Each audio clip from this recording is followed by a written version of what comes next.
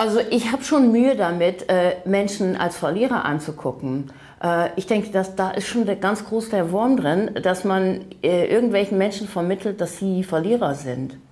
wer ist wirklich der Verlierer? Das weiß ich. Ich denke, wenn die verlieren, verlieren wir alle. Ähm, denn ähm, jeder Mensch hat ganz viel Potenzial.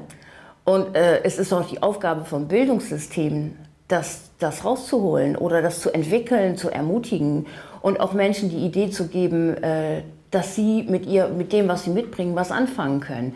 Vielleicht nicht in den traditionellen Strukturen, vielleicht braucht es da neue Strukturen, aber ich denke, da sind wir auch gefordert, vielleicht neue Strukturen zu schaffen.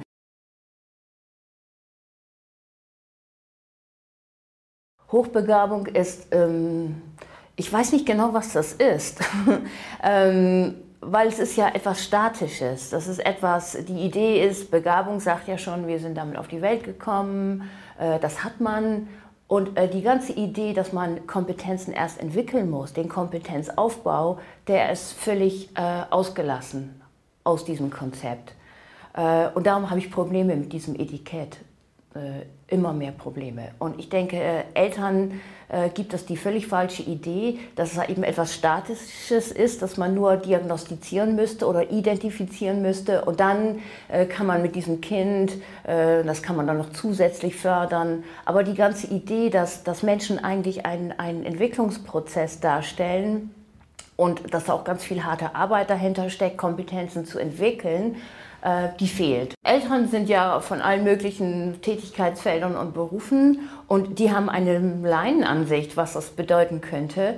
Ähm, ich denke, schwerwiegender ist, was die Fachleute denken, also äh, die, nämlich die Psychologen auch, ähm, denn die definieren, die erheben einen Anspruch, die, dieses äh, Konstrukt zu definieren. Und es wird äh, sehr oft noch mit äh, IQ 130, äh, das gilt als hochbegabt, ähm, wird das definiert. Nun wissen wir aus den äh, letzten 10, 20, 30 Jahren Forschung in der Begabungsförderung äh, oder Intelligenzforschung auch, äh, dass das nicht haltbar ist, so ein, so ein Konstrukt, wo man das an einem Intelligenzwert festmacht, wer hochbegabt ist. Und dass sich ähm, aus allen Disziplinen, alle Disziplinen, die Forschung weist darauf hin, äh, dass es eben ein Entwicklungsprozess ist, auch neurowissenschaftlich gesehen oder aus der Expertenforschung wissen wir das, ähm, dass es eben um Entwicklung hier geht. Und darum die Idee, schon etwas zu messen anhand eines IQ-Wertes, der ja nur ein Durchschnittswert ist, äh, eine Kompetenz in, in verschiedenen Stichproben von Fähigkeiten, das äh, wissen auch viele Menschen nicht, ähm, das ist wirklich extrem fragwürdig, äh, zumal da auch noch die Tagesform reinkommt, natürlich auch der Bildungshintergrund und, und solche Sachen. Äh, es ist nicht haltbar. Und äh, wir tun Kindern keinen Gefallen, auch Schulen keinen Gefallen, wenn wir an so einem statischen IQ-Wert oder Hochbegabungskonstrukt festhalten. Wir müssen das dynamisieren.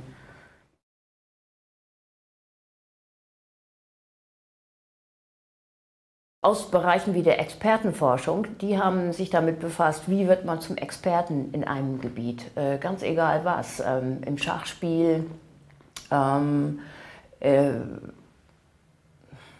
auch verschiedenen Wissensgebieten, Mathematik, Musik, wie wird man zum Experten? Und äh, die haben ganz klar gefunden, dass sich das nicht am IQ festmachen lässt, dass sich tatsächlich zum Teil die Intelligenzquotienten von hochleistenden Menschen in, in diesen verschiedenen Bereichen äh, kaum unterscheiden von den IQs von ganz normalen Menschen.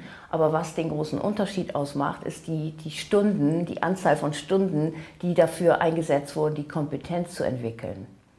Und äh, was besonders wichtig ist, ist eben nicht nur üben, ähm, sondern äh, was die Deliberate Practice nennen, äh, also äh, reflektiertes, reflektiertes Üben könnte man sagen, äh, bewusstes Üben, indem man analysiert, wo habe ich Fehler gemacht, was könnte ich besser machen, äh, ähm, was habe ich anders gemacht als letztes Mal und so.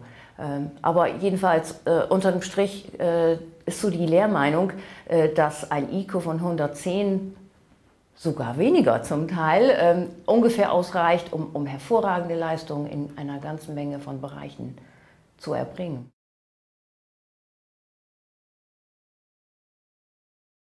Die Idee, dass, dass äh, auch schon Kinder mitgestalten, können. Das ist was ganz Wichtiges. Ähm, passive Kinder werden zu passiven Erwachsenen, werden zu passiven Wählern, werden zu Menschen, die, die aufgegeben haben und wenn es Probleme gibt, die Gesellschaft nicht mitgestalten. Ähm, und alles, was wir vom Lernen wissen, jetzt ist, dass das beste Lernen da stattfindet, wo Menschen aktiv dabei sind und auch das Gefühl haben, sie können einen Unterschied machen. Und ich denke, diese Art von Lernumfeldern müssen wir schaffen und das ist mehr eine Frage der Haltung.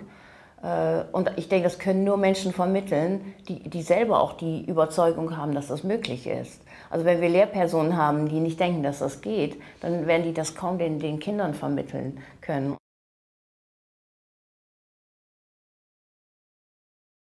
wenn man den Erfolg lobt, dann wird jemand, äh, ja, wie soll ich sagen, er, erfolgsgeil oder sowas und, und, und äh, meint, sie müssen immer Erfolg haben. Aber das äh, verhindert ja gerade eine gesunde Fehlerkultur. Denn die Fehlerkultur, äh, die verunmöglicht das ja immer erfolgreich zu sein, sein zu können. Ähm, also man muss auch mal Fehler machen dürf, dürfen und äh, ja, in, in, die Amerikaner sagen, if you want to be successful, you have to triple your rate of failure. Also wenn man erfolgreich sein möchte, muss man die Versagensquote verdreifachen.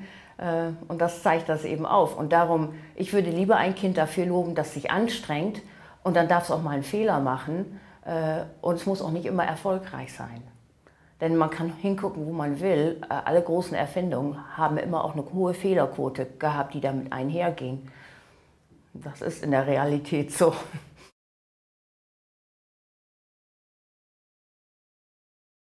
Diese Konsumationshaltung äh, oder Konsumentenhaltung vom, vom Lernen, ich denke, das ist wirklich äh, Industriezeitalter.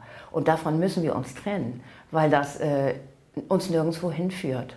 Äh, denn was wollen wir denn eigentlich lernen? Äh, da gibt es ja so viel zu lernen. Äh, das ist ja geradezu, ja, es ist ja eine exponentielle Entwicklung, was die Inhalte betrifft. Und was wir lernen müssen, ist, wie, wo ist mein eigenes Interesse?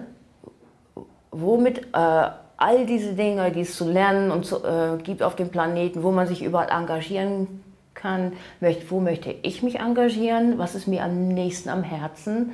Äh, und aber auch, äh, was gibt es denn sonst noch? Wie kann ich mich austauschen mit anderen, die was anderes machen? Wie kann ich mit denen kommunizieren?